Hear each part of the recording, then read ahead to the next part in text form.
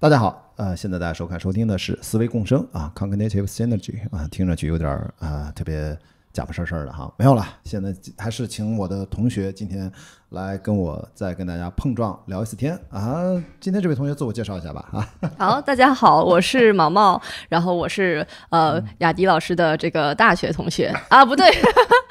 博士对博士同学差不多。是，呃是大学同学，啊。他博士他博士，我是研究生，对。我们都是硕士研究生和博士研究生，其实都是研究生啊。然后跟毛毛同学我们在一门课上，然后上了一学期啊，对。然后最后我们刚巧分到一个小组，然后还有跟我们另外一个同学啊，刘姐是吧？对，然后呃，最好我们那个小组汇报还不错啊，老师好非常好，哎呦呦哎，现在底气很足，而且我发现了，你是不是在其他的作业里，我看你发那些朋友圈也应该都是很好的结果，什么给某个企业做的什么项目，看好像评价也很高，对吧？我一般是这样的，就是如果那个项目的题目我确实觉得很有意义要做，那我就会非常的投入 energy。但是我觉得如果对方也哦是水水意思意思，那我也意思意思嘛。就大家听到没有啊？这位这个呃，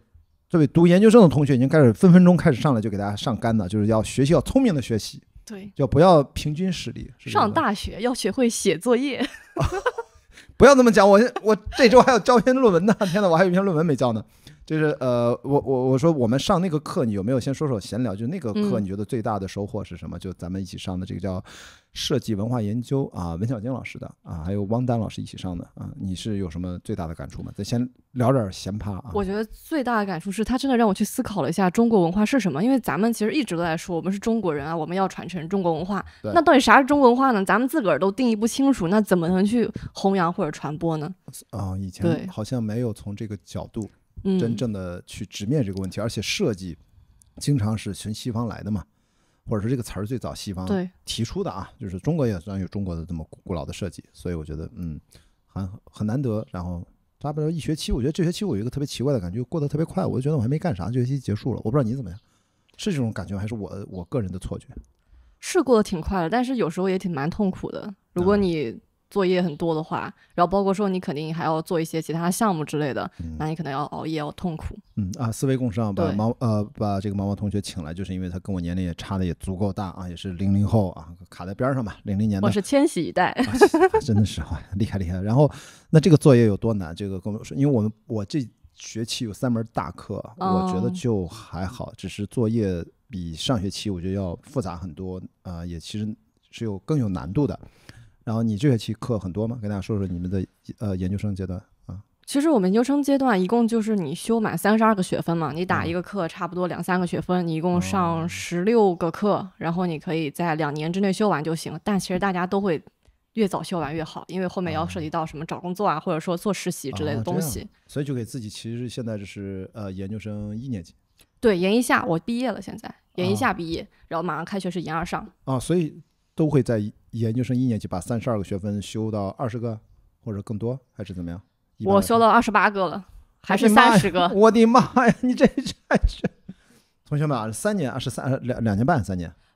呃，其实原定就是一年半之内让你把所有的课修完。哦，那你这也是，提前很高的完成任务，整个下来是要三年的是吧？还是整个下来就只要一年半，它的课程就只有到一年半，然后往后哦让你做毕设的。但其实大家就是，嗯，不成文的规定啊，都会选择尽早的把它修掉，哦，因为后面的事儿谁说得准呢？对吧？哦是这样，所以说你的压力明显比我听上去就大很多，课那么多没有，咱们咱们没有博士这么大的毕业压力的。好好好好吧，对，博士毕业实在是挺难的，大家可能不太了解啊。是上海交通大学这个博士毕业，反正别的学院不知道，设计学院还是毕业率不是那么高的啊。那竞争还是呃不是竞争了，反正就是难度高啊，难度高。反正我听说好像是刚刚有人答辩通过，可以毕业了啊。有一位大博士毕业了，是咱们交互组的，哦，是吗？哦，对，我听说的答辩通搞脑过了。科学的。对，哦天哪，那应该跟他交流一下啊，看看他的论文写的啥，没准我感兴趣。所以跟大家就分享，就我在读书这个过程当中，因为第二学期就在忙很多事情，我就没有在网上跟大家分享我的什么博士生活乱七八糟的。但是我觉得收获还是特别多，真的是在读书为主啊，然后是吧，就遇到了咱们很多同学，就做了这个思维共生，其实就想跟大家碰撞一下啊。然后你说这个收获，这是一方面，那有没有什么咱们在比如说做小组的情况下，因为咱俩包括跟刘姐，你们俩年纪嗯几乎相仿嘛，对，她可能比你大一点点，好像是吧？差不太多差。不太多。然后跟我这个呃组合怎么样？就是年龄差最大的小组。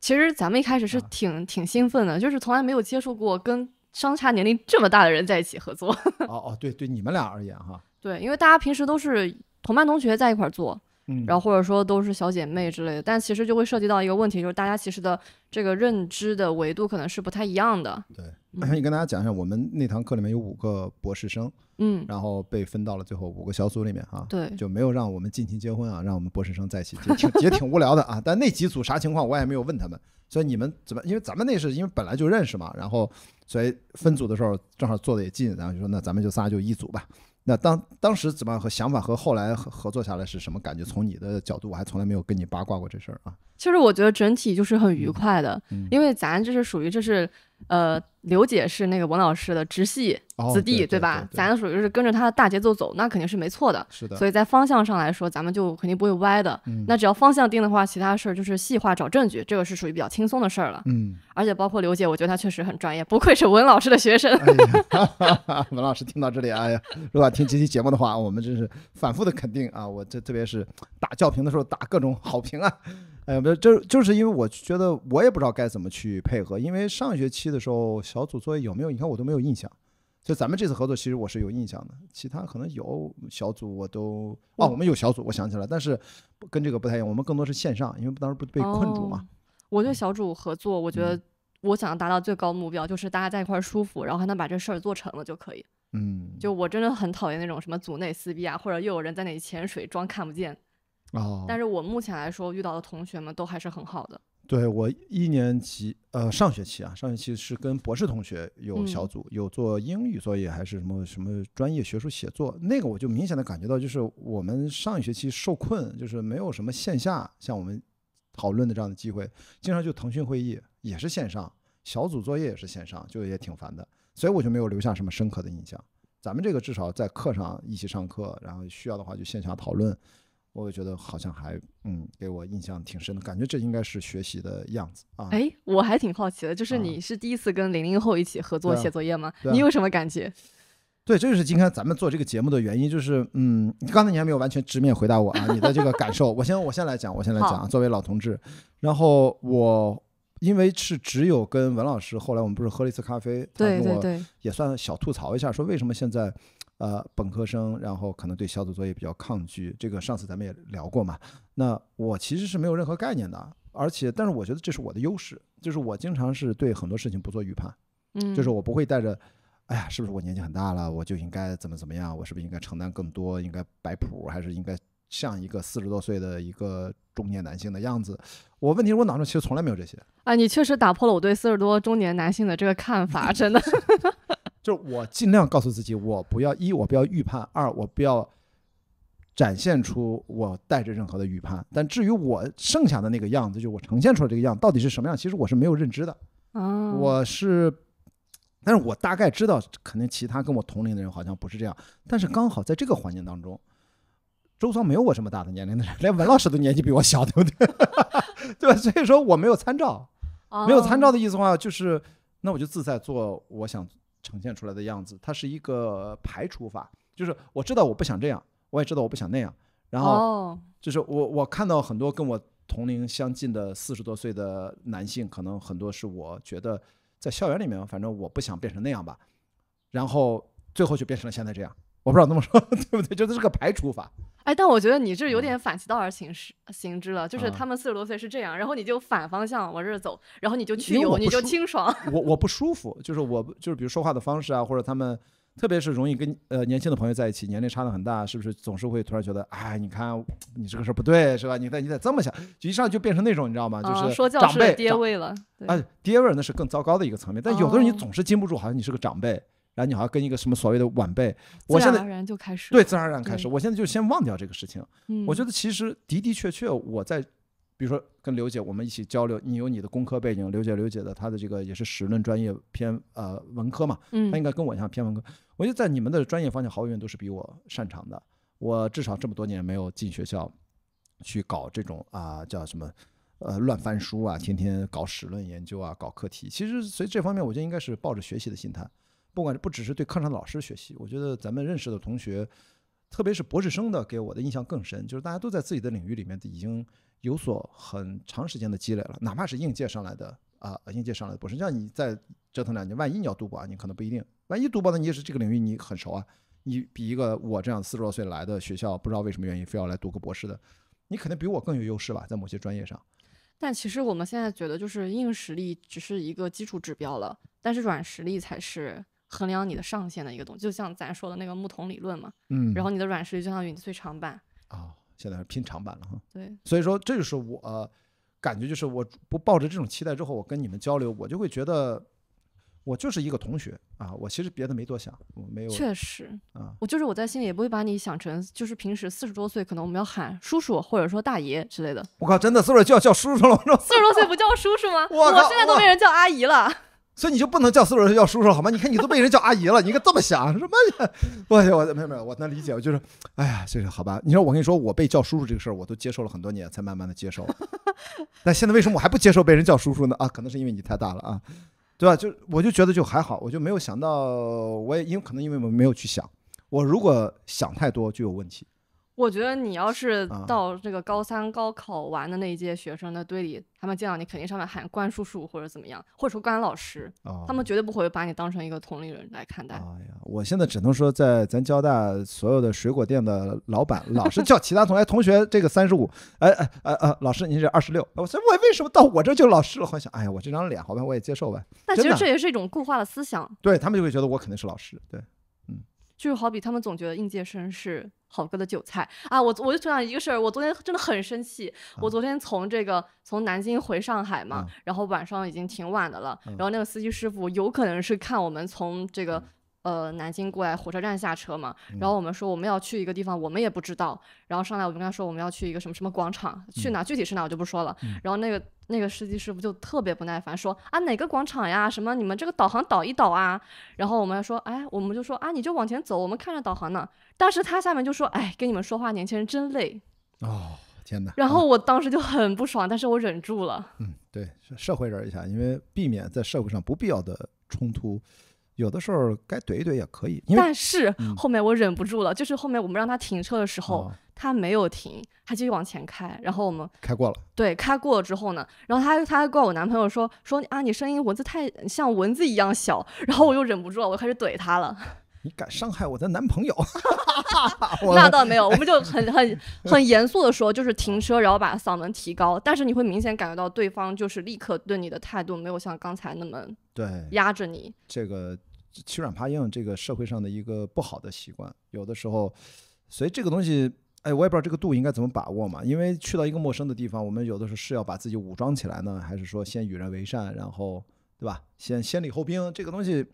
我我我几次我跟出租车司机发火都是很多年前了，我这几年都没有了。嗯，嗯，所以说长得成熟也不是坏事儿。当然了，他对看我这，而且有至少有一个习惯，我一到青岛，我一上出租车会有不自然而然的用青岛话。哦一到北京，那个北北京腔，京北京腔要要多甩一点儿，哦，就让他明白咱就是啊，这这这这这个这个地方的啊，不要跟我来那些有的没的啊。嗯虽然现在都有导航了，你知道吗？他已经没有什么像以前啊这种宰客呀、什么就乱开啊，现在没法乱开啊，都有智能手机。但是有的时候就是那导航靠不靠谱，那是另外一回事儿。你看你这个还是，我觉得你这个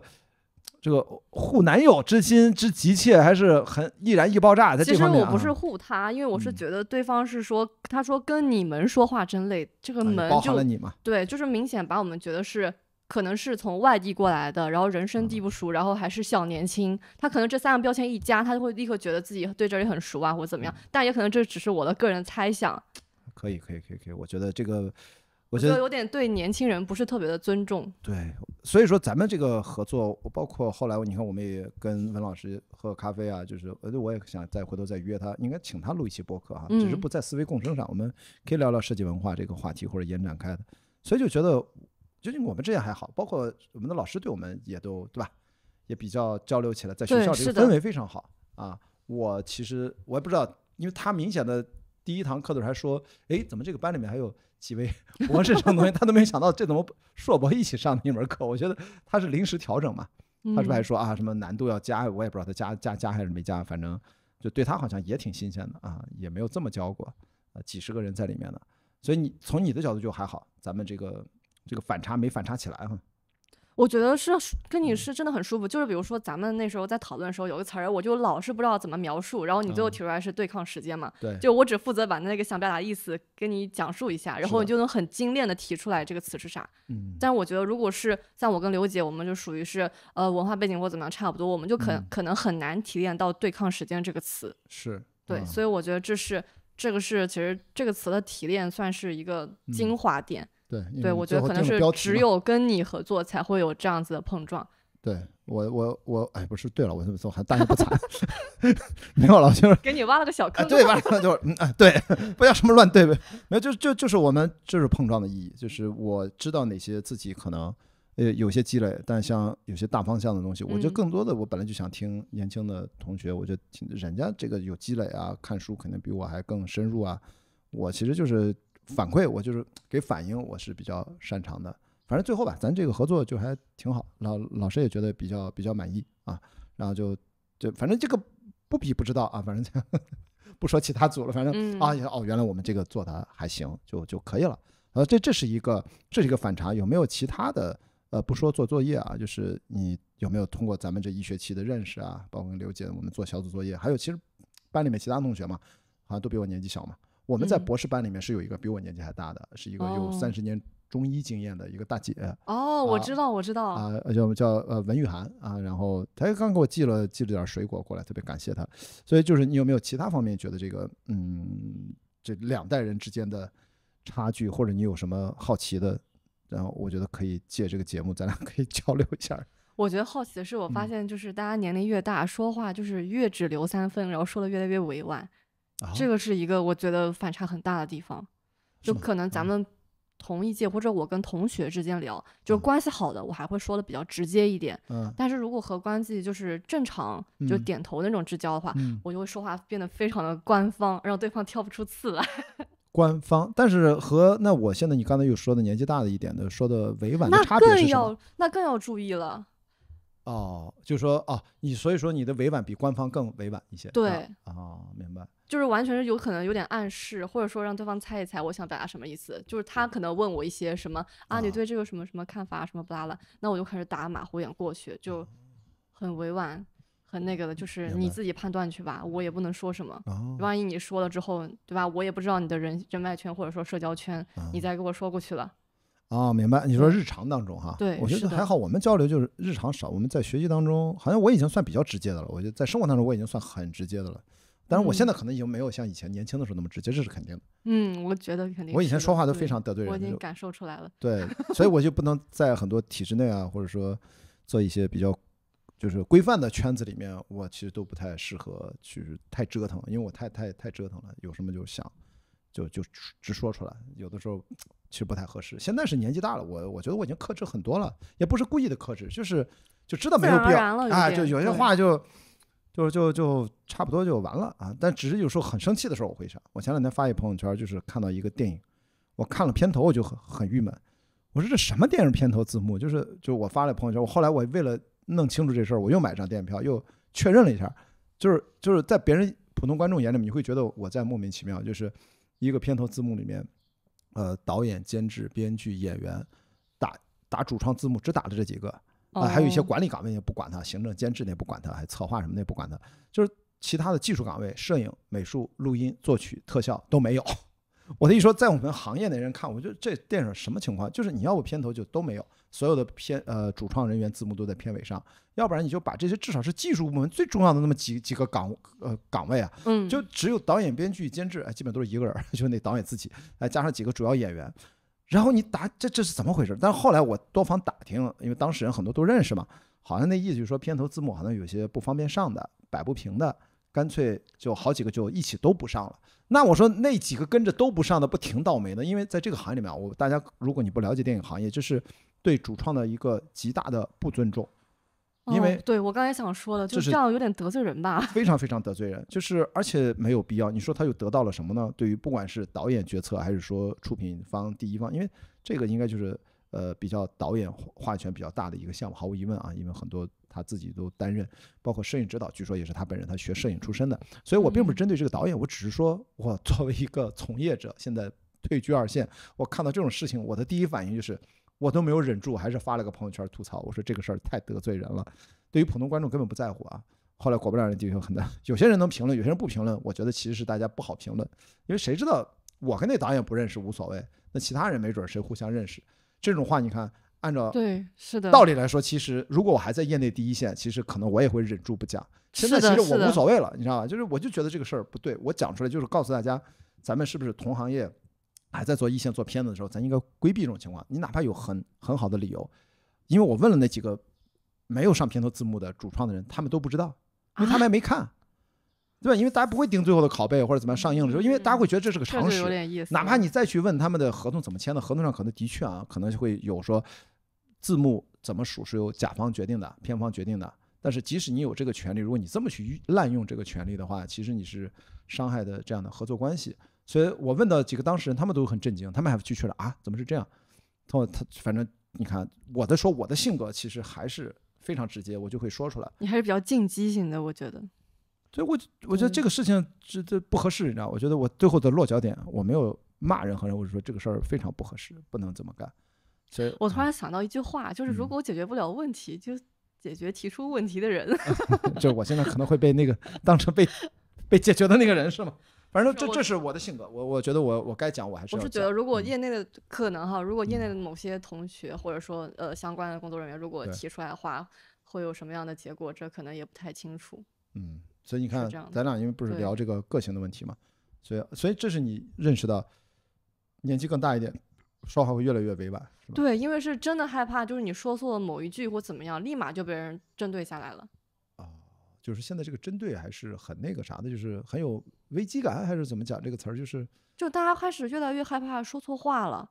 然后包括就是你说了之前咱们聊的那个，为什么大学生就是越来越沉默，就是因为第一我说了你没有任何的反馈，嗯，第二就是我说了我畅所欲言的说了对，但是你这不是你想要的答案，嗯，然后你就会反过来来解决说这个话的人。哎，照你这么说，你看咱们课上好像我是回答了几次问题，好像其他人没有什么回答问题。但是 但是我觉得在交大这里还是非常好的嗯，这我真的要为交大点赞。我觉得在这里就是老师跟学生还是非常其乐融融的进行一些交流的。对无论是日常还是什么。但是其实，呃，我有看一些 B 站的 UP 主嘛，然后他们有分享自己的这个本科学校，可能就嗯是，嗯，就是官僚气稍微重一点的话，通常都是可能会可能哈，嗯，会解决出那个提出问题的人。哦，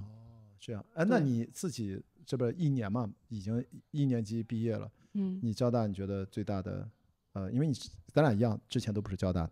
你你你最大的感感触是什么？除了我最大的感触就是这里真把学生当人呐。你以前那学校怎么得罪你了？没有，我之前的学校也很好，啊但是我在这里就确实感觉到了，真的是以学生为重的感觉。但是嗯之前可能我之前的学校可能是呃二幺幺或者其他的一些学嗯。校，或者说我也看到其他的一些 UP 主有分享，可能不是这个个例吧，嗯。他们也会觉得自己的学校是呃行政啊或者说层级比较严格的，对，然后老师和学生之间也不是比较平等的关系。嗯，当然，我们也不说什么平等，我觉得这不太现实，本来嗯。就是有社会地位的差距。对，所以所以就是说，在这个环境里，在这个学校圈子里，你能嗯。把我当人、当学生，真正平等的对待，我就觉得非常感激了。是的，是的，哇，这其实我这方面都没有太多想，没来得及顾得上。我觉得更多的就是跟大家日常的上课啊、体育课呀、课外活动啊，呃，偶尔有些饭局啊，其实也不是很多。我觉得我还是这方面接触的少，所以我希望通播客的方式跟大家多聊。要不然，其实我好不容易来趟这个大学，我是想尽可能多体验。其实这也嗯是说明，就是大家年轻人，虽然说我们可能没有这么多的社会阅历，但我们心里也是有一杆秤的。就是嗯，也请大家不要把我们这些年轻人当韭菜，我们心里是有秤的。哎，学校听听了压力很大呀，哈，真的。但是还好，我我在交大，我至少待了这哦，个不仅仅是学校，嗯就是有时候可能，比如说啊你去外面就是买东西啊、租房啊，或者这个很正常。就是你买东西，如果你是外地人，他可能也会有一点稍微割你一点韭菜的意思。对，我知道你最近是在租房嘛？能说说你租房这个有什么新的租房的角度的新的发现吗？还是新的感触吗？我新的租房，因为我是个女生嘛，所以嗯我第一反应就是我想要这个地方一定要是安全。嗯然后在安全基础上，我希望它可能就是呃装修的稍微好一点，不要是老破小那种。嗯然后可能再往上就是通勤，最好是要么是有班车，要么就是有地铁。对。然后价格呢，肯定就是不要不要让我贴钱上班儿。所以这个怎么样？现在因为跟住宿舍不一样，现在搬出去住这段时间，因为刚刚开始自己嗯，住的，就是感受有什么不一样吗？啊，我觉得真爽啊，你知道吗？就不用啊听着另外一个人打呼噜睡觉了哈。没有，我的舍友都很好，但是你，你就是我是独居嘛，就相当于嗯那个空间完完全全是属于你的，你不用担心，就是你的舍友有时候他会进来。啊，那你本科没有？我本科也没有，哦，这这这是你人生第一次租房，哇！是的。那你突然让我想到了，我人生第一次租房应该也是大学本科，好像本科有过，因为我那时候去要考研究生，我就出去在中国音乐学院附近租了一个小区，特别也是跟人合租，对，还嗯我还不是跟你，还不是单居，那时候因为图便宜嘛，然嗯后对我其实那是我最早的租房记忆，大概是二十三年前，两千年。哦，还是两千零一年啊，大概是这样。所以你你这次能单间儿，然后自己住，第一次拥有，呃，在家里面跟在家里面自己有一个自己的房间是不一样的。那肯定是完全不一样的都不在对，父母都不在，但是你就是会涉及到，就是你晚上啊如果听到外面有异动，你会立马睁眼，然后仔细听外面的动静。哦，还是这个安全感的问题，还是这个对，问题？是的，就是如果你独居的话，是非常有这个感觉的。哦，是的，有可能是这只针对于女生，我不清楚男生怎么样。呃，这这这没没有记忆，应该就是没不想这些问题。对，当然我心大啊，就是嗯，这就是男女的差别。我觉得你看这个方面还是是有有呃有不对等的地方在。女生这个东西的确是要呃关注更多吧？那会有什么样的措施吗？你会啊什么措施预？防的措施，比如说给自己多多安个什么锁呀什么的这种会有吗？但其实我还真没安锁，因为我嗯感觉住了一段时间下来，我发现那一层住的基本上都是我的同事。那行，那还挺好的。而且关键不是你说楼下有保安什么的，对我那个住住的是酒店式公寓，还不是像正常的住宅小区，所以安保还是比那个要好一点的。啊，那就嗯好很多。所以这个出来住会对你的生活日常跟住在学校呃生活习惯是发生了什么样的变化？生活习惯是是你要开始考虑这个钱呐、它怎么样可以过完一个月。我哎呦哎，怎么马上就变成这么现实的话题？就是在学校的时候，其实消费像你说，你之前分享过，你大概一个月，呃，其实都能预判得到的嘛。吃饭花多少钱，可能娱乐消费、买衣服，或者是相相对而言是，呃，是能够计算得出来的。然后你现在出嗯来租房呢，是不是就这个计算模式就发生了变化，还是计算公式就发生了变化计算模式的话，首先你得去掉这个房租的钱，啊？房租肯定是一个支出的大头，对，然后还加上这个水电费，那哦其他对还有水电费，网费吗？也网费不网费是包的，我那儿开啊空调也不要钱。哦哟呵，这大上海现在啊这么热呵，听上去很开心。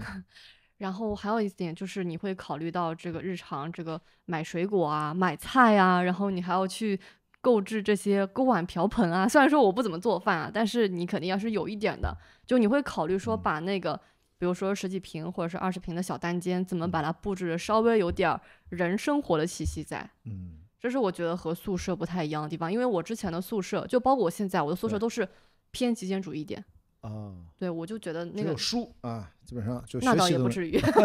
桌上还有很多化妆品。然后这这个是就可以理解成这是人生第一次出来自己独立生活、是的独，立居住吧。是的。这对你来说是迈出了很重要的一步。实际上，你还有没有这个意识到？其实就是嗯，我觉得我这个人很奇怪一点，就是嗯我可能在这方面仪式感比较低，因为我觉得这个事情它发生了，它就自然而然的发生了，我不会特别去想啊，这是我租房的地点啊，这是我什么破嗯核的第二十三年，我完全没有这样的想法。对但这个也也也有好处了，但是这样你自然就过渡过去。对，是的，然后你有没有其实跟你同学交流，或者说其他人自己出出去租房，就会我觉得听上去还是很顺利啊。就他他们其他同学有什么出去租房遇到什么不顺还是怎么样？这个是不是还是比较常见？你这个还是比较幸运的我啊。我这我觉得应该是属于幸运的个例了，对啊但是他们因为我的。住的地方也比较偏嘛，在嘉定那边，但嗯是有很多同学，他们可能要住在徐家汇或者静安这边，他们首先要考虑的就是钱的问题，因为在徐家汇那边可能起步最起码一个老破小都要三千往上了，天哪对，而且肯定是合租，嗯肯定不是那么干净利落的，啊！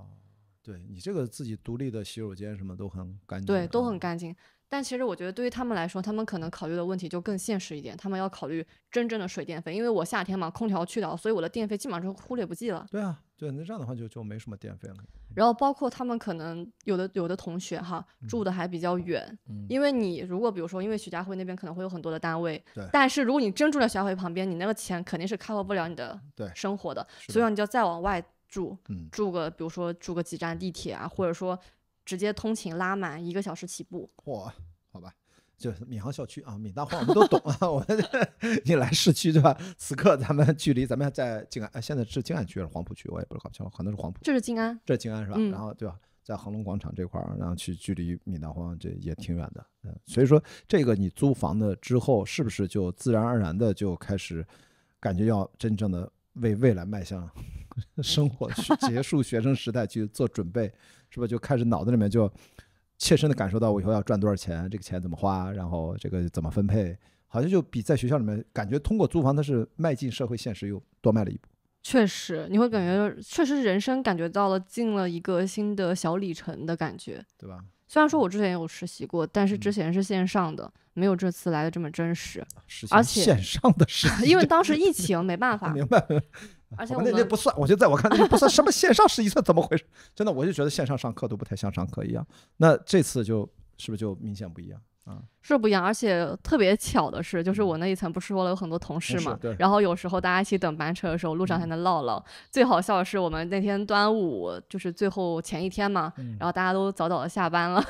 下班之后大家都开始在这个车上就开始互自然而然就聊起来了，就开始从从啊你也住这儿到聊成啊你老家在哪儿，你在哪儿上学，然后最后我们三个人都互相加了微信。啊，那还行。这哎，其实蛮重要的，街坊邻居嘛。因为我们现在这个格子间，大家住楼里面已经没有了。当年我小时候就是也住楼房，嗯，但是大家晚上乘凉的时候，都是大家坐在院子里面，大家都日常聊天儿，邻居和邻居其实那个时候还是很近。我觉得这是跟那个计划经济时代哦延、延续下来的。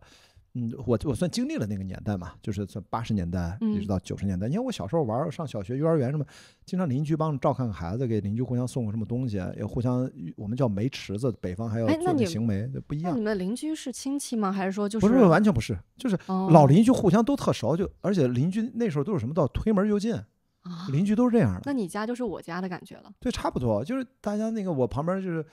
反正我小时候我觉得八十年代是非常凸显的，九十年代或许开始有些变化，但是呃，我们的同班同学、小学同学、初中同学，其实到家里都是推门就进。呃，那后来有电话了，会去之前打个电话，以前没有电话，没有电话就是去了就找。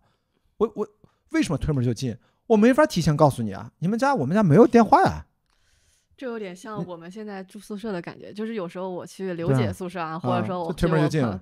啊，还是会敲门一下了。啊啊啊啊！对对，但就就是那个意思，就是那个意思。所以说现在你们这样其实也是邻居，其实本来是可以这样的，大家就是要互相知根知底儿，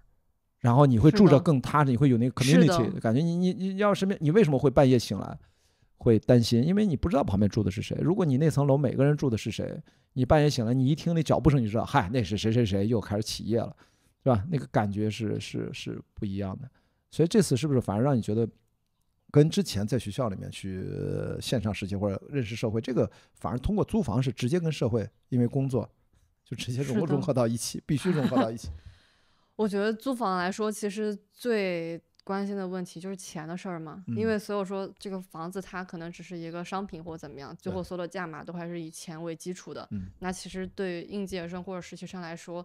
可能最在乎的就是这个地方。现在你觉得是的，这个观念钱是因为你你的同龄人都在读书嘛？呃，研究生一年级、二年级，这个即将在步入社会，或者有的早一点的步入社会，社会实践早一点，你能感觉到大家彼此对于这个观念是目前是不是还是比如家庭决定的，还是说因为现在目前如果都还没有真正去社会上打拼啊？所以对钱的感受是不是主要是来自于家庭的影响？我觉得可能还有一部分是时代影响的，就是我嗯不知道你有没有看到过一个呃，算是搞笑的一个消息吧，就是啊说就是求姻缘的那个殿前一个人都没有，但是求财神的那个寺庙面前所有人长跪不起，尤其是年轻人，真的是长跪不起。这我呼应了上期我们那节目，那是就大家都现在啊。说，我你想以后想干什么，就只想做个就是做个富婆，嗯。或者说找个富婆姐姐。啊啊，就就就姐姐我不想努力了，就这种台词对吧？对，真的很多，就包括我和我的男性同学在一起的嗯时候，他们也会说啊，我想找个富婆姐姐。啊，好吧，这个，哎呀，就这个嗯说明其实现在经济压力确实对年轻人来说还是蛮大的。对，我就想表达这个经济压力，嗯当然它很多是实打实的，那有一些是不是也有可能是大家怎么去想，就是怎么凭空的或者说人造出来的？因为观念嘛，其实都是我们自己的大脑生发出来的。哪些压力是其实我们可以把它卸掉一部分，并不是真的要的。其实我觉得年轻人对钱的压力可能有这几个维度啊。第一个嗯就是你自己的对钱的这个标准，对啊，第二个就是你的家庭状况，第嗯三个呢就是你现在的人生状态。比如说，呃，我有同学他可能要考虑和他的女朋友或者男朋友进行订婚，那可能他对哦在钱上的考虑是要比我们这种还没到那个层级要考虑的更多、更现实的。嗯然后再加上一点，可能就是他的家庭里面的亲戚朋友，在属于一个社会上的什么样的角色，嗯，可能也会影响到他找工作，因为找工作它的类别就直接影响到你的公司的钱嘛。对我是选择这个九九六还是 WLB 是吧？对，所以可能就是这几点加一块儿，然后再把再加上自个儿这个个人兴趣爱好，有些兴趣爱好很烧钱的，那他肯定就是得再多挣点。嗯，因为你刚才说嘛，就是求姻缘的都大家不去拜了，然后都在拜这个求财神，就是目前这是一个整体的，这叫什么价值转移是吧？其实如果说姻缘啊，美好的爱情、婚姻或者两性关系，它有点。呃，理想主义，但至少赚钱这个事情是非常现实层面的。就是大家，你从你的角度来说，钱到手，我觉得是实打实的，嗯，但是感情这个事儿可能还是有点虚。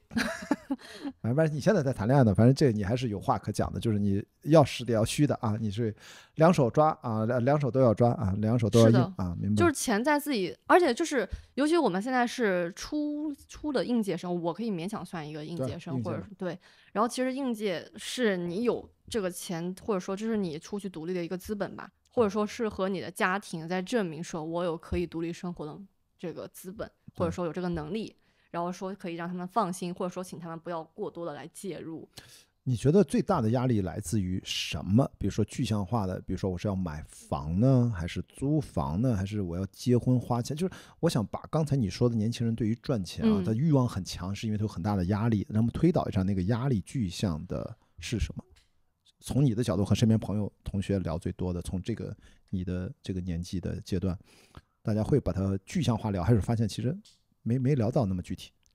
大家可能没有聊到这么具体，但大家统一想的都是我想要就是以后可以财富自由，做一些自己想做的事情。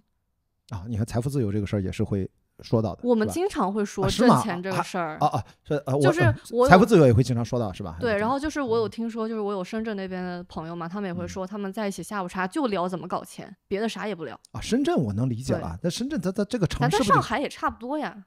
啊，上海对你要说在我老家，那肯定聊的可能就不是这个了，可能啊就是在一起吹吹牛。搞钱？那不是那对我我其实怎么搞钱那是个方法的问题啊，那是那是一个话题。但我今天其实我好奇，因为咱们这个思维共生嘛，我就好奇说，现在比如说比我年轻二十岁年轻的朋友们，他们那么想搞钱的背后的动力，到底哪一些它具象化？它是被什么催着的？是整个社会外在的，还是一些呃实在的具体的压力，还是有一些我们想象出来的，无形当中大家彼此施予了对方的压力，或者我们扛住了一些无形的一些压力，他他他哪些是可以规避的，哪些其实无奈的？我其实我好奇的是这个点，因为我就怕什么呢？就是因为是都是词儿嘛，比如说我压力很大，我想赚钱，我看到底赚多少钱，压力到底多大，压力从哪里来？因为现在这个年纪，我们应该。呃不同的家庭背景，这个我是接受的。就是你嗯出身，这个你改变不了嘛。你爸妈，你爸妈条件家里面，或者他的爸妈，对吧？是吧？祖上的是农村户口、城市户口，还是是当官，还是二代。对啊，还是还是各种二代、富二代，随随便这个我们就不不去那么去，我们只是泛泛的讲，都有压力。那这个压力它肯定有共性。你们之前也聊，是不是？你会觉得大家不会去往往去再深挖一步，或者说到底是怎么回事？我们到底需要多少钱，或者应该怎么去赚？还是说大家就选择一个？呃，我那天看《三联生活周刊》刚发了一篇文章，说好像大家年轻人都追求一个好像不一定存在的一个东西，或者叫像罂粟一样的，说叫平稳不累的工作，嗯，安稳不累的工作。说白了就是能躺，真的是卷累了。哎，我的意思说，你看这不是不是很矛盾？又想赚很多钱，其实又大家又喊着要躺，这难道这两个不打架吗？这不不矛盾，我先好好赚钱，然后我就躺了呀，我管你是谁呢？反正我我又不找你要钱，就是对，所以在躺之前还是愿意努力去拼的啊。那没办法呀，那没有躺的资本呀。所以就说，大家其实赚钱是为了躺啊，现在或许我觉得，我觉得我身边的同学至少都是这样子的，大家都想开了，嗯就是我也，就是你像互联网赚这么多钱嗯或怎么样，就是可以短期的先挣一笔，这个你可以去到下一个层级或者说下一个领域的一个起始资金。嗯然后你我因为我这个起始资金赚够了，我才相当于我有入场券嘛。嗯有了入场券之后，那我进去再怎么玩，就是下一个阶段的事儿。哦所以就跟我们刚才说，为什么大家要挣要挣一部分钱，然后去躺，也是一样的道理。当然还有一种选择，就可能直接去考公务员，直接开躺，考上了就可以躺了。不是，就是公务员现在是大家公认的是直接考上就开躺的这种感觉是吗？我觉得这个啊躺不是说你真的就啥也不干啊，但肯定还是要为人民服务那种啊。嗯就是我的同学他们去国企，就说会觉得觉得心里安稳，就是稳定，不会就是比如说明天就裁了呀，或怎么样。对，因为我问这个问题就是呃哦，容易稳定。对，像是的他好像说那个词儿是容易。我后来发现，我看了三联三联生活周刊那篇文章，我的第一个反应就是，我认真回想了一下啊，我可能因为专业原因，因为拍电影其实都挺难的啊。嗯，就是你要不是有强烈的热爱，你干嘛考一个这样的一个很难就业的一个嗯专业的院校？所以我在想，我就从来没想过，此时此刻我也是，我没有想过我选择的所有的生活的方向和具体的事情建立的目标都是建立在容易和稳定，我全都是反面，很难，高度不确定性，它才吸引我。我发现这是这是性格的问题，这就是，还是我觉得可能是你的家庭也有一定的关系，就可能你那嗯个年代的家里普遍都还是大家大差不差。大大大大差不多都是工人家庭，但是其实我们在零零后这一届开始，就大家家庭之间的差异就已经很明显了，它会直接影响到小朋友们的这个选择就业，或者说你在进入大学那个专业上，你看到就是我们设计学真的有很多，就是呃家里面条件比较好的同学在上，呃，然后会你说的是，如果家里条件不太好的学生，如果呃他可能会选择一些啊比较切实的可就业的专业去学。就像我之前的专业就是嗯工科学，工科学就是好就业，好就业就代表着你有一份生经济收入可以支撑你刚迈入社会的第一份小生活。哦，所以说就是能来读这种不好就业的专业，其实呃其实跟国外其实也一样嘛，你读艺术，是的，读读艺术真的很烧钱啊读！读历史啊，就是 最近话题不是说新闻学，大家不要去读新闻。我看好多人在讨论，因为张雪峰这事儿好像被各种 diss 啊什么的，就是说读新闻传播学哦，什么没最近我有用啊。看这个，对，这个这个真不是今天讨论的话题，就是说你其实真正的觉觉得可能是时代的变化，大家。因为我关心的是《三联生活周刊》，它总结了嘛？那篇文章你可以在嗯订阅号能找，就是昨天发的，简单吧，就是他说大学生普遍的他们共性总结出来的，就是相对容易和稳定的工作是他们追求的目标。我想表达的说，这为什么就就到了这一步？难道我们不都是要讲创造，然后迎难而上？就是是时因为我们代是不是真的发生清醒了变化？是，吗？了因为我们清醒了，啊，或者说我们要创造这东西，其实后来发现这它就是一个饼，你知道 吗它是？个假命题，是吧？或者说，其实啊你也是搞研究的，对啊，呃，我可能也是学硕嘛，嗯咱们嗯也知道，就是创新，你很难创造真的说呃，就是特别厉害的创新。明白。你稍微意思意思或怎么样，咱们嗯都是说创新，那可能很多时候它就是个修饰词。明白了，我我现在可以从这个角度说，我身上某某种程度上还就是残存着 当年的那种你还有浪漫的性质在，我觉时得。代时代痕迹，哦，就时代痕迹就是就是就是那种就是要就精神力量。你看我后来为什么刚巧我能够在极限耐力运动里面去嗯发挥一些自己的性格特质、身体的一些擅长的体能优势和意志力啊，包括精神力啊得以拓展。我觉得也是跟那个年代给我的，就是说。这事儿是很难，跑一百公里，一开始都会觉得不可想象，后来跑到三百三十公里，也我跑完一百公里了，我也觉得跑三百三也是不可想象的。你想想，那现在如果你都没有经历过一百公里，你更觉得三百三十公里跟我没关系，对不对？但是再到后来，我又跑了八百六十六公里，哇哦，我就我就不能再往上跑。我后来发现不能再再长，我就要去跑 PCT，就美国三四千公里那个纵穿美国的那条那条线。我的意思就是说，这个我一直会觉得听上去不可能，不是阻碍我不去做它的理由。哇塞，这这我在觉得从来都是这样的。你看我现在不是环球帆船赛，我也完成了呀。我以前嗯怎么会想象我可以一个人航行，不是一个人，跟一个船队跨洋去体验这种环球帆船赛四万多海里？我居然时隔了三年，中间停了两年，最后我不也完成了，而且我们还拿了总冠军，这都之前连想都不敢想的事儿。所以，我用这种正循环反复的告诉自己，取决于我做不做这件事情，不是说它有多大的可能性，而是我内心的愿望、内心对它的理解、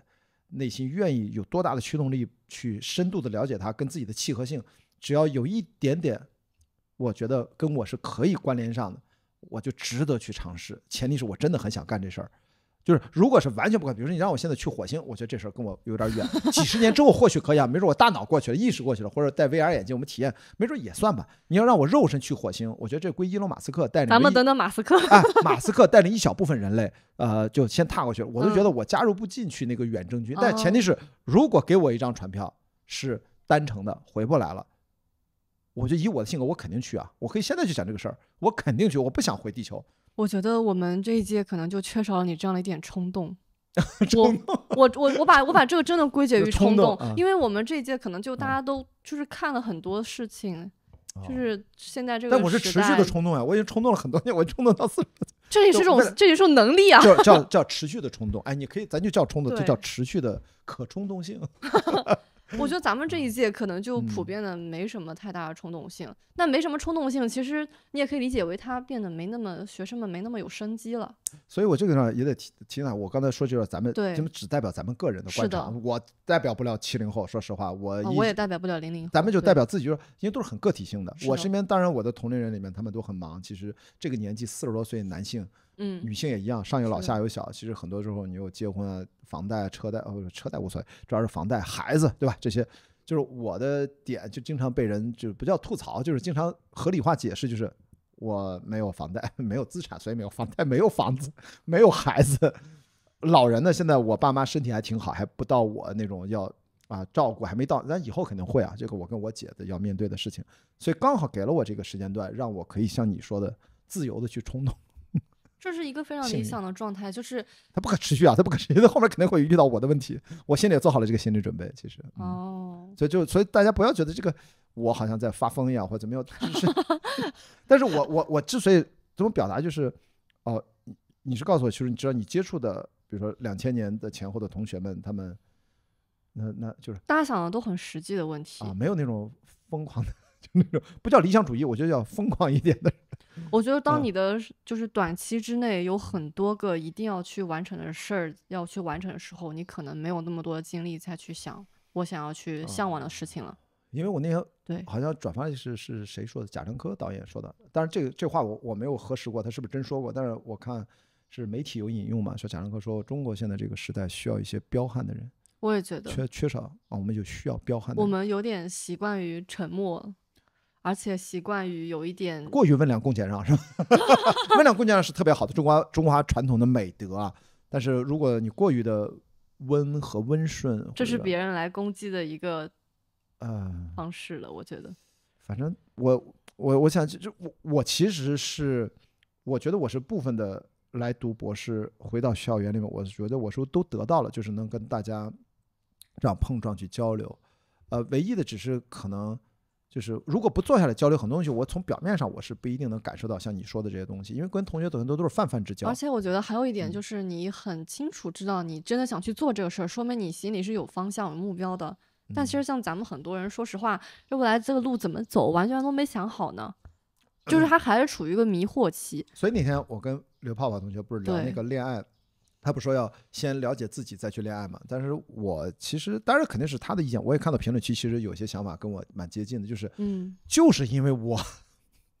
不了解恋爱，我自己也没有看清楚自己，所以我做的所有的一切的选择，包括恋爱，包括你去租房、你去兼职工作，我无所谓，所有的一切就是了解自我的过程。是的，所以我的意思说，我无法去找到一个排一个先后顺序。我人生这还有下半辈子可活，我也不知道最后我会走向哪里，会不会再结婚啊？离婚这么多年，会不会老来得子有孩子？会不会真正的又建立起一段自己的还算比较向往、期待一段亲密关系？我都不知道。但是我不能要建立在我要先如何如何，比如说我要我要先有一套房子，不然的话我就女方什么什么乱七八糟，我没有我我现在已经完全。不受这些哎规训，我哎完全不搭理啊。你这样一说，我突然想到一个事儿，嗯就咱们现在年轻人压力这么大，可能也是给自己设限比较多。就是我要先有什么什么东西，我要有什么什么东西，所以我就要挣这么那么多钱。但是等我有了这个东西之后，我又开始我要下一个东西。你就怕是你有了那么多东西之后，你早就忘了你真正想要什么，因为在这个过程当中，它的变化太多了，所以我们无法去推演一个那么多变量，长达几年以上为单位的。比如说你现在二十多岁，你想说我三十岁多少？你你想不了你三十多岁。对我现在也就不怎么做长期计划，因为我觉得太空了。呃，除非是那种非常的精英教育，就是可能比如说在你这个年纪，从小身边的父母都是很厉害的人，他们社嗯会经验很丰富，然后耳濡目染。我身边真的有大学同学，他比如是温州啊，我记得是乐清啊，就是这种非常会做生意的家庭，嗯就是企业家。包括你看现在的企业家，像王兴，他爸爸也是做生意的，很多这种创业的创始人 都是因为家里面从小耳濡目染，就看到家里的父辈啊、呃母亲或者怎么样去经营一个生意。他们哪怕是学的别的专业，但最后等他们真正成长，他们要突然某一刻他们决定要经商的时候或者创业的时候，他们很多东西是过往的那些怎么跟人打交道，怎么去思考，他是一直是有积累的。确实，这个我觉得是呃非常非常幸运的。呃，但是大部分人其实都要我们从零去学习。所以就是我们嗯为什么说想要去选择这个躺，或者说稳定的工作，还涉及到一个东西，就是试错成本。嗯就我做了这个决定之后，它可能会对我之后的生活有影响。就比如说，我可能突然被裁了，但是我这段时间可能并没有多少的财富积累。但是嗯我选择比较稳定的工作之后，那我的试错或者说我被裁这个可能性很小，那我对我一起今后的生活的风险程度就会降低。对你说这个呢，就像我身边遇到很多我们越野跑，嗯，我们有一波儿，他们没事就来跑步，为什么呢？就是因为除了像我这种生活当中遇到一些挫折，我们是把这个当成一个精神的心理压力的出口。还有一类呢，他们就是朝九晚五，他们都是一嗯个体面的一个体制内的工作，是的，是的，他们四点下班儿，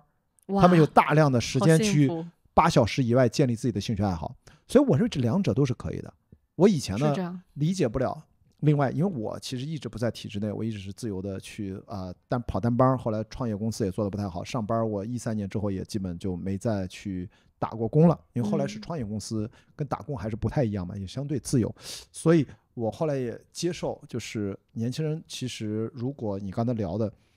前提是建立在你只要八小时以外能充分的利用起来，我觉得完全 OK。就是你有一个 job，就是你的工作，然后在这个基础之上，你去追求自己的兴趣爱好，未来没准某一刻你能够让自己有了建立自己的职业规划和发找到自己的职业方向。这也是我们躺的一个原因。但是更高层面的，你遵遵循自己的内心的 calling，可能是你的呃使命啊，比如说是吧？呃，occupation 是吧？我记得那嗯天不是我发那朋友圈，其实是那个最近那个女女性作者是吧？她说的嘛，是你是你天天命啊，天职，它叫称之为天职 occupation 和职业 profession 和对应的工作 jobs，jobs 就是无关情绪爱好。不喜欢你就是为了换，钱不用动脑子，也不用走心，什么都没有。然后 profession 其实就是你的用自己的擅长可以谋生，然后靠这个能赚到钱。但天职就是赚不赚钱不是第一位的，这是你内心追随认为最重要的事情，必须得做。呃，钱多钱少都是它，所以它是人生不同的阶段。我其实我看到这个的时候，我自己反思了一下，就是我因为太喜欢电影了，就读了电影学院，然后就一直干电影十几年，一直到嗯毕业。我后来越野跑一做创业公司、推广公司，呃，户外运动装备，我发现全都是在 profession 和 occupation 之间横跳，来回嗯切换。我就没有几乎我想象不出我能够做纯粹的工作这个时间段，我好像没有。我的老同事啊，电影公司的老同事，他就说你在博纳的那段时间难道不算 jobs 吗？哎，我说恰恰相反，我认为那段时间是最不算的。为什么呢？二零零五年到零七年，我在这家电影公司给老板做助理，一个月嗯工资就三千块钱。在那个年代，这三千块钱可能中不中中不中高不高，反正不能算高嘛。你要是多么低呢？我那时候房租一千多块钱，就一半儿用去哦租房了，也是跟人合租的，也只能租个合租，在三环里吧，就我记得在三元桥附近。我想说的就是，那个时候我就觉得我能有这个工作，是我自己自荐去的，毛遂自荐去的。我觉得这个东西对我学习最重要，我真的没有考虑那个老板给我多少钱我也去啊。所以我想说的是，我我跟那个老同事说，那段恰恰是最不算 jobs。天呐，你要生活在现代，你可能会是那个主动交钱上班的那一波人，哦 哦，现在还有这种人是吧？有，真的啊甚至还成了一种体系。主动交钱上班是就是现在上班不是你要去实习或找工作是公司给我们钱嘛？对啊但是现在有一部分，尤其是可能是在金融领域哈，我有听说过，或者说小红书上也有刷帖看到过，是你就要去交一笔钱，然后你才可以去到这个公司上班。这是正经公司吗？正经公司啊，因为那个公司可能比较好，我操，这公司怎么靠招实习生赚钱是吗？不是，呃，他可能看不上实习生这点钱，但是你想进去的前提就是你要交有有个钱进来。承诺金第二，你啊，有这个相关的这个，比如说你是做金融的啊，那你嗯肯定就要问你父母家里面是不是搞这行的呀，能不能直接拉客户进来呀？啊，所以现在其实大家其实考虑的就是用人单位考虑，就是你用拿过来，我招你进来，你能不能干事儿，立马产生这个经济效益或者说生产价值。嚯，所以说，已经不再是过去如此纯粹的可以让你去学东西的年代，现在是你要有这个能力，你才可以去 match。嗯，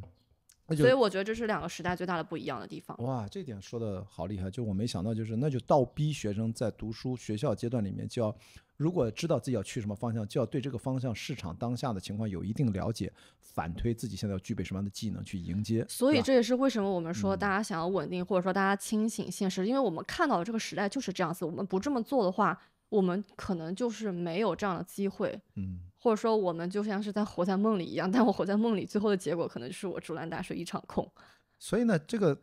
那大学里面教这些东西吗？大学现在其实我觉得大学是在避开这一部分，它只是在教你一些课程相关的东西。你说避开是他他是主动避开，说其实他想不避开，他也没得教，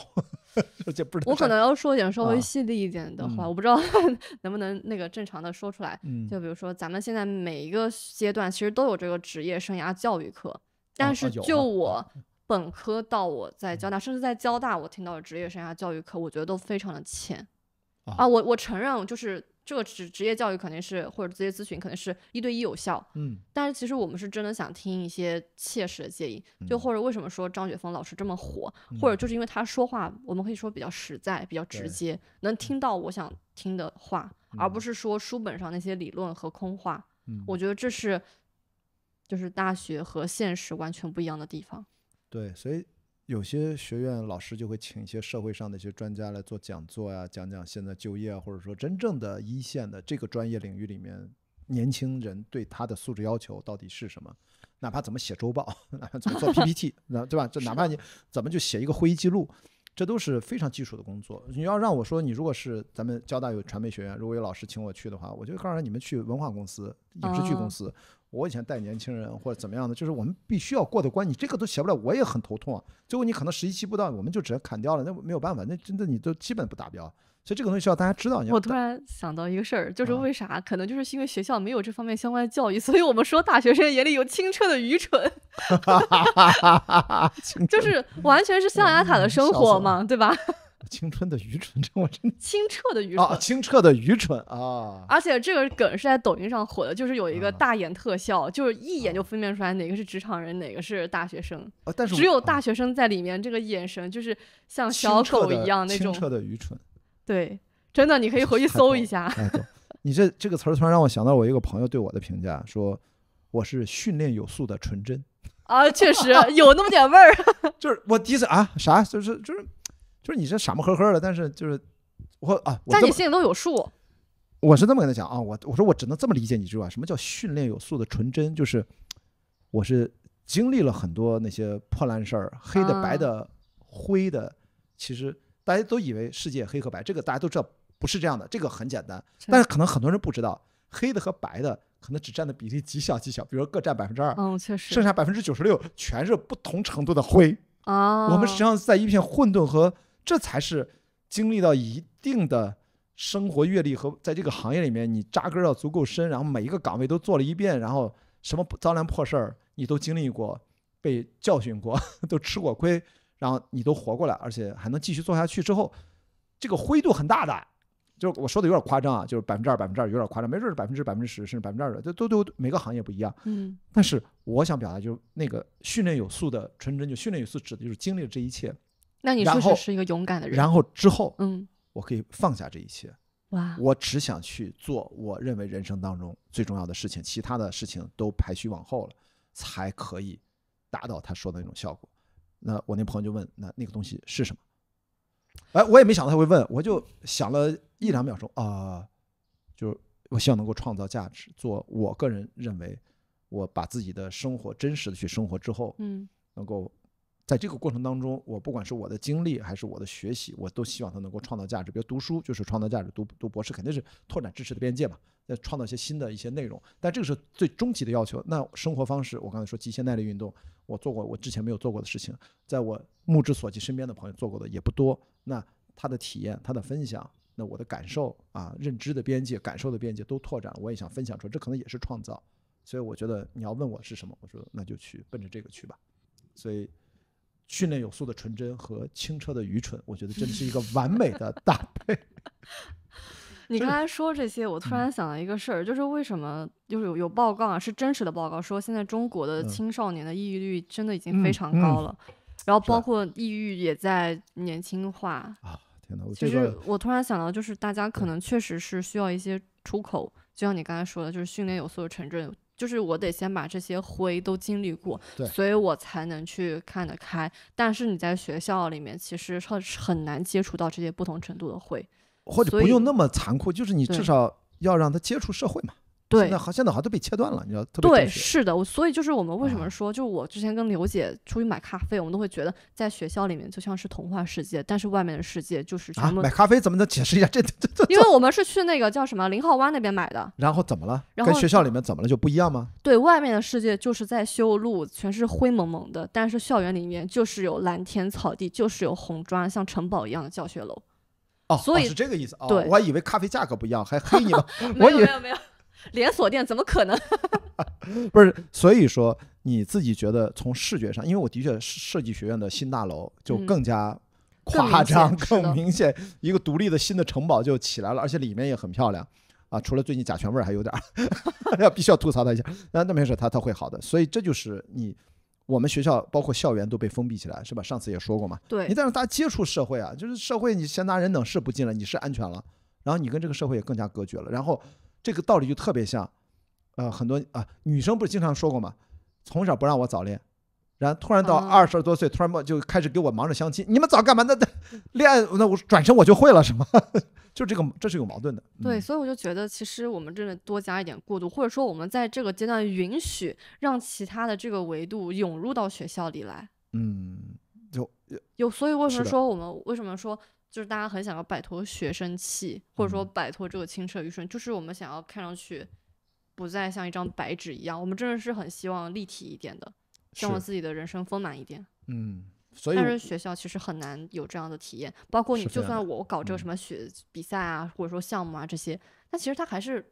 就在学校这个圈子里，他是不和社会人士进行交往的。包括我的一个老师，他会说他现在都是不不做校企合作项目，因为他觉得太简单了不。做什么项目校企合作项目啊？，校企合作项目对啊太简单，他觉得太简单了，他就只接企业像嗯这样真实的、有业务真实复杂逻辑的项目。嗯所以我觉得其实是每一个学生或者大学的阶段是应该锻炼这样的能力的，而不是说我们只是在那里卷一卷那些无谓的东西。嗯，是，所以就回到你开头说那个，就是呃，要学会写作业，就是哪些作业应该认真做，哪些不用那么认真。你看，这是你已经有了一定的基础判断之上，不会那么的平均分配啊，所有的体能对每一个啊要交的作业，哪怕具体到作业这个事儿上，但其实也不是，因为我当时要保研，保研的要求就是你一定要拿高绩点才有这个保研的名额，所以我对于每一科每一门课我都要去投入比较多的精力。啊，那是本科的时候哈。是的啊，现在研究生就还好现在就无所谓了嘛。对你现在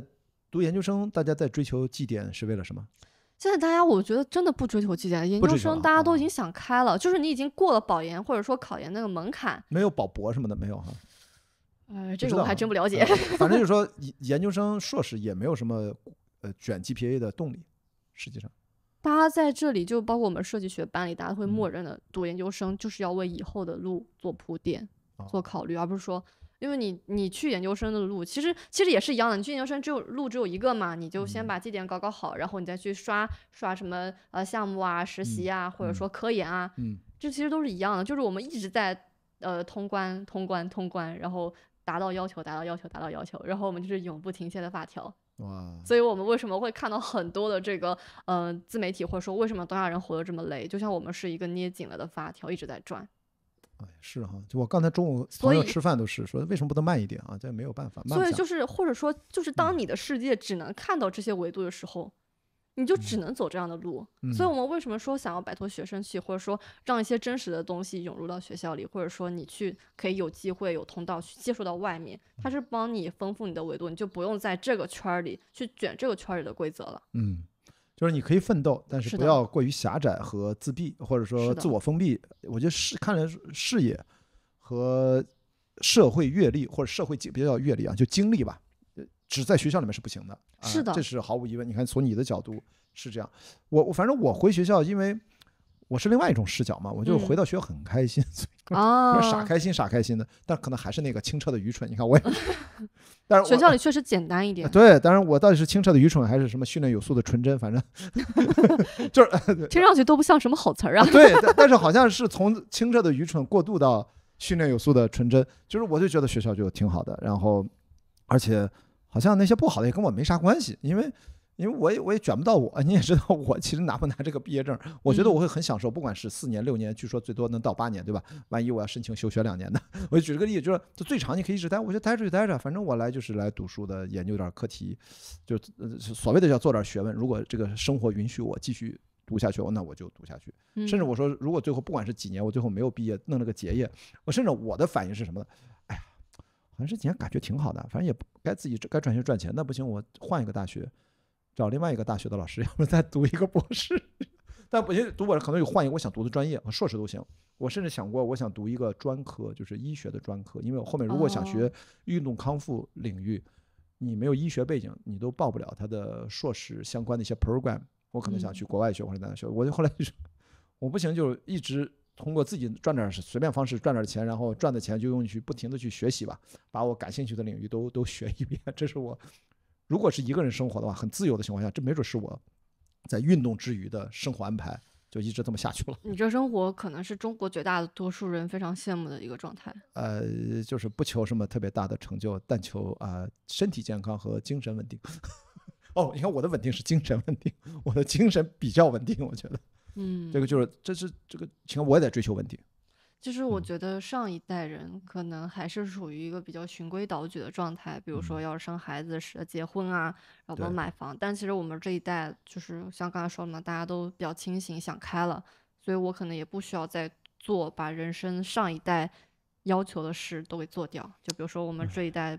不太需要结婚，是或者说非常女性非常抗拒生孩子，嗯，然后再加上我们可能也不太需要再去买房了，因为我们已经充分的意识到买房是一个让我一辈子当上了，房奴啊，对，让我当上了 stable 的一种事情。还有一种就是也有房啊，父母那个房不也最后会给你嘛，对吧？也是这样说，但是你可能并不会跟父母住在一个城市呀。啊，对我如果你不啊在一个城市的话，那就相当于你还是要这看这个社会，这个社会如果说你如果在这个城市没有一套自己的房产，可能会影响你的生活质量，会影响到一系列其他的问题，可能还好。但我猜啊，就是可能这个以前如果有些绑定的东西，以后应该越来越放松，就是让大家就是不要把精力都放在这块儿，因为这个社会就没有活力了。之前是当时因为房地产是支柱性经济的这样的一个地位，所以导致了一系列的问题。现在国家不是也在调整嘛？希望能未来能让大家更多的关，现在已经开始这样了，关注到个人的发展。嗯但我发现了一个新型的现象，我可能房价要降，但是我可能租金要涨。啊，是吗？对，就是比如说像字节啊他们大厂，他们他们周围的房租都是比较高的。嗯如果你这段时间想来的人想来实习的人多嘛，比如说暑假或者说春招秋招那段时间，租金一定是非常贵的。天哪！但是随着目前这个大厂可能有点裁员的迹象，嗯然后那段杭州那块儿的房价已经就租房的房价已经开始下跌了。租房也下跌了对，啊，就是其实呃房子这个东西，就只要你有这个诉求，它它就是它就是商品嘛，你有诉求，然后人多，供应不求，嗯它就会涨。嗯，但现在因为国家在管控房价，但是租金其啊实是没。有被管，没有被管掉。对，国家现在在未来会有越来越多的长租房呀，很多项目。就这个事情，我觉得聊到最后啊，我真的觉得就是如何让年轻人解放思想，解放思想，就是这个是个老词儿啊，就是我那个年代的词儿。但解放思想其实现在翻译过来就是说，如何能让一些去有一些积极的压力，我们在一些压力肾上腺素一上来一紧张，我们是能够发挥的更好，但是不能长期处于压力之下，我们的皮质醇不停的分泌，整个人的亚健康的状态就垮掉了。所以我觉得解放思想其实是为了能够肩负着该肩负的一部分的，能够产生积极的这种的压力和紧迫感，但是把一些长期的负面的这种没必要去背负那些东西，或者说我们都是人生是成长的过程，边走边看。我刚才也说了，很少的精英的精英，他们是从小就规划自己的成长路线。但对不起，那个我一直承认这是你先看看自己 是不是要往那方面。但是现在家长就会自己认为我们是那样的，所以说从幼儿园、小学就啊国际学校还是怎么怎么，就走高考还是不走高考，还是出国留学，他从小就开始那么安排。我觉得现在本来呢，这是一个相对少数的选择，但是现在他变得越来越被大家都这么认同，不然他会觉得孩子没有出路。但是到底孩子该怎么成长，年轻人该怎么去自由一点的长大，创造力怎么去，这个我现在也没有完全想清楚。但是我觉得直到有一天，可能我自己有孩子了，我真其实我觉自己践行得。我啊们这一代人已经嗯想清楚了，我们嗯这一代人生不生孩子的一个很大的条件就是我有没有钱，嗯。就是因为我们可能这一代都处于是父母的经济并不是呃如此充足的情况下把我们嗯生了下来，对。所以我们的这个成长路径或者说可供选择的方向是比较有限的。但是如果哦。我们这一届生孩子的话，嗯。可能就是我已经有足够的钱了，我的孩子如果他学习不好，我可以让他去走呃艺术啊，或者是去走这个。呃，运动啊，或者嗯。说去学其他的，而不是说让他仅仅局限在这个呃，就是呃考试的学科上，因为人生它确实不仅仅是靠书本知识。哦，我没有说是学艺术或者说学运动不好，我觉得那是非常好那更难，的一种。其实那对，那个，更难。卷出来更难。对，所以就是嗯我们想清楚了一个事儿，就是我有钱，嗯然后我能让孩子有这个东西是去选择，然后包括现在其实。我其实还蛮担心未来这小朋友的教育情况的，因为现在国家是有这个要求，这个呃高考率或者说中考率要分流了，对，，所以那其实普通中产家庭的孩子，他是不是要被更卷一点呢？我的妈呀！然后那些精英的小朋友，是不是得要更稳住自己精英的这个想法呢？对我这，我现在都一想这分流这事儿，我就不明白。了所以我觉得是一个非常，呃，希望可以越来越好吧。希望嗯我们的维度可以更多一点，然后让小朋友们或者说我们年轻的正在成长的小花朵们，嗯不要再局限于在这一种，因为我们都不想看到抑郁症的概率这么高。对这个我们希望每一个人都是阳光开朗大男孩儿、大女孩儿。都充满着那种不用不要清澈的愚蠢，离我们远一点啊！也可以保保留的时间，你该长还是该短不短，这个你要自己判断，到底是一种什么样的清澈的愚蠢。我倒是觉得你要应该能不能混沌的聪明，不要清澈的愚蠢，对吧？然后或者说能不能像我训练有素的纯真？我觉得这个这个就太远了，太远了。训练有素的纯真这个事儿。我觉得是我朋友对我的一个调侃啊，他他说我这是对你的恭维，我说好，那就当恭维吧。大家这个青春的年代，像你们成为零零后，我觉得应该体验尽可能多，了解更多真实的社会的样子。反正这就是一个小期待呗。就目前来看，你你都发现了啊，你已经开始一脚迈入社会了，就马上就有自己的判断和感知了。我希望你刚才说的这些，都能让大家形成更多的共鸣嘛。啊，嗯我反正这个节目我们经常就跟年轻的朋友聊天，好吧？就拉稀杂八说了好多，那就今天就先到这儿。好的，啊，呃，还还要再来啊，因为我还有跟别人跟毛毛同学一起录的节目，嗯希望大家在思维共识上期待更多我们跟毛毛的对话，好吧？好，好也行，谢谢大家。非常感谢雅迪老师，好的，我们下期朋友们再见。再见。